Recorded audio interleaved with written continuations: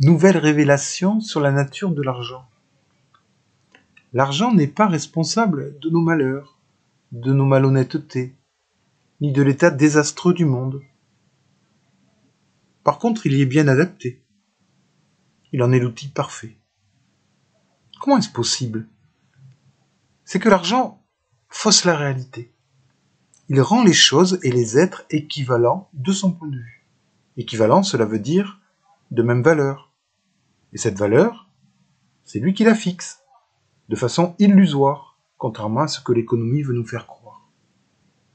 La valeur monétaire d'une chose n'est pas déterminée par le temps de travail qu'elle nécessite, ni par sa rareté, ni par le besoin qu'on a d'elle. Si elle l'est, c'est parce que nous donnons une valeur monétaire à ce temps de travail, à cette rareté, à ce besoin. La valeur monétaire d'une chose n'existe tout simplement pas.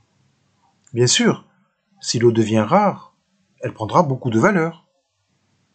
Mais cela ne détermine en rien son prix. C'est nous qui déterminons son prix. Et ce prix va priver tous ceux qui ne peuvent le payer de cette chose vitale. C'est comme ça que la valeur monétaire fausse la réalité. La réalité, ce n'est pas que certains, les riches, ont besoin d'eau. Tout le monde a besoin d'eau. La réalité, ce n'est pas qu'il est légitime que seuls les riches boivent. La réalité, c'est qu'il y a peu d'eau et qu'il faut prendre une décision tous ensemble par rapport à ce fait. L'argent est ce qui nous prive de décision. Sauf les riches, bien sûr. L'argent, c'est quand les riches décident. Décident du prix de l'eau et du reste. Le secret du prix de toute chose, c'est fondamentalement qu'il doit permettre aux riches de les posséder. Tout le reste est accessoire et dérivé de ce fait, de sorte que tous devront aspirer à une part de richesse, si petite soit-elle. Et c'est ainsi qu'en faisant tout pour y parvenir, il légitime les riches, il légitime l'économie, il légitime l'argent, il légitime la valeur décidée par les riches. Bien sûr, quand nous disons les riches, nous savons bien qu'il s'agit d'une antiphrase. Les riches sont terriblement pauvres.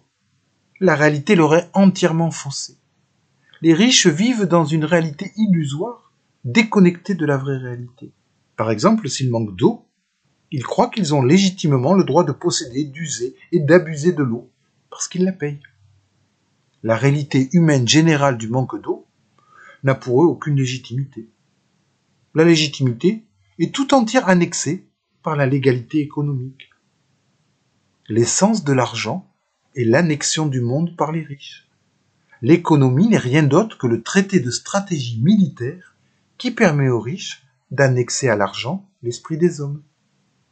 La révolution est l'opération qui, en se détournant de la valeur selon les riches, en se détournant de l'exemple lamentable donné par les riches, part à la reconquête de l'esprit, ce qui est identique à la reconquête de la réalité.